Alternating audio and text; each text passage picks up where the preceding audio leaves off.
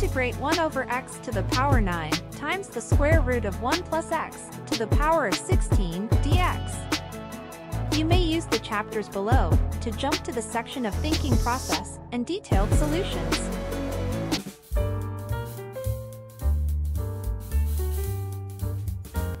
Hi there, welcome to my channel Mathusiasm. Today I want to share with you this integral of large parts of x, 9 and 16.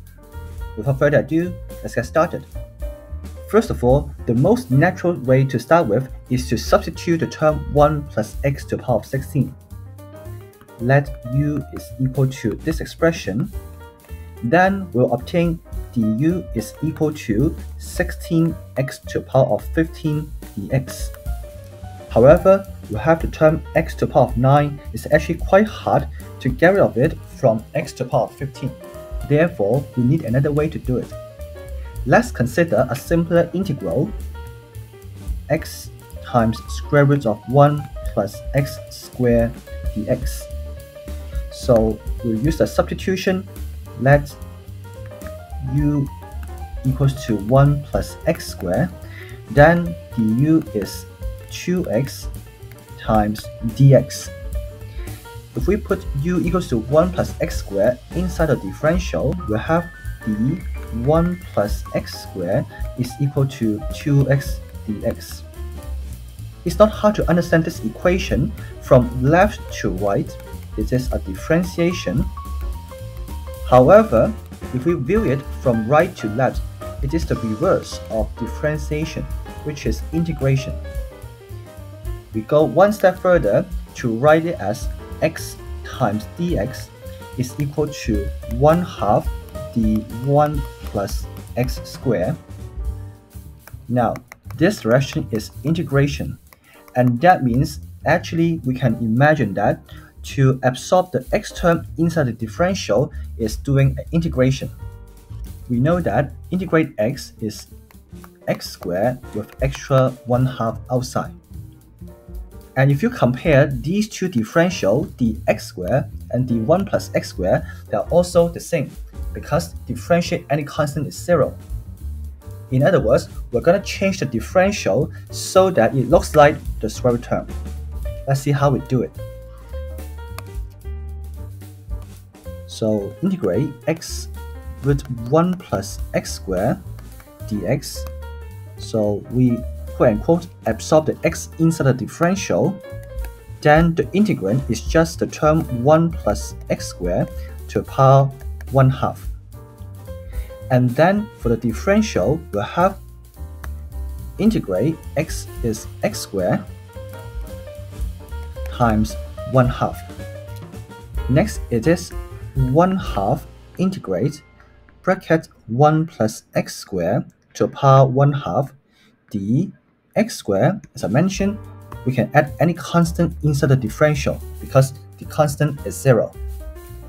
Then this form is actually integrate u to the power of 1 half du, which is equal to u to the power 3 over 2 divided by 3 over 2. That means to multiply the reciprocal 2 over 3 plus c. Hence, we get 1 half times 1 plus x squared power 3 over 2 times 2 over 3 plus c and cancel the 2, we get the final answer.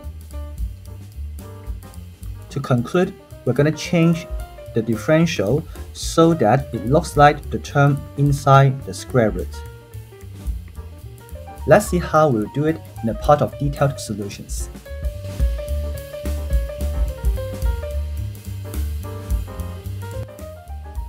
To evaluate this integral, we're going to change the square term in a special form. So the integral is 1 over x to the power of 9 and then the square root of, we take out x to the power of 16 so inside the bracket we have x to the power of negative 16 plus 1 dx. Next, the integral is 1 over x to the power of 9.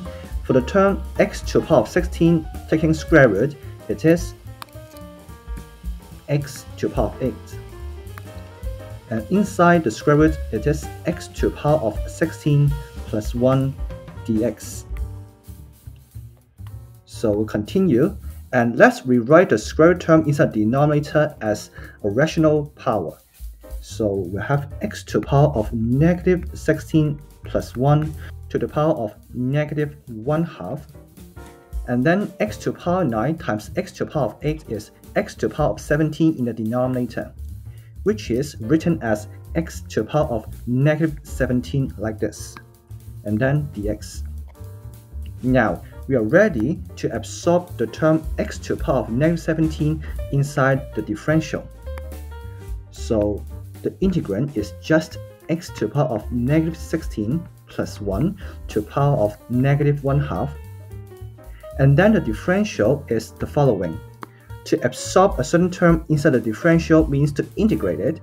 That means integrate x to the power of 17 is x to the power of negative 16. So we have to divide negative 16 outside. Moreover, to ensure that the term inside the bracket is the same as the differential, we'll have to add extra 1 here. And we can do so because differentiate constant is 0. It doesn't change the differential. So this integral is in the form integrate u to the power negative 1 half du, which is equal to u to the power negative 1 half plus 1 is positive 1 half. Divide 1 half, that means times 2, plus a constant c. So it is equal to 1 over negative 16. We have x to the power negative 16 plus 1 to the power positive 1 half, and then times 2 plus c, where c is a constant. And now cancel out the 2, we have negative 8 in the denominator, so we further simplify the answer to obtain negative 1 over 8 and then square root of 1 over x to the power of 16 plus 1 and then plus c. So this is equal to negative the square root of 1 plus x to the power of 16 in the numerator and in the denominator it is 8 times the square root of x to the power of 16 which is x to the power of 8 plus c. So this is the simplest answer for this difficult integral. I hope you enjoyed this video. Please give me a like, share and subscribe my channel. I'm happy to see your views in the comment section below. This is all I have for you today. I'll see you next time. Bye.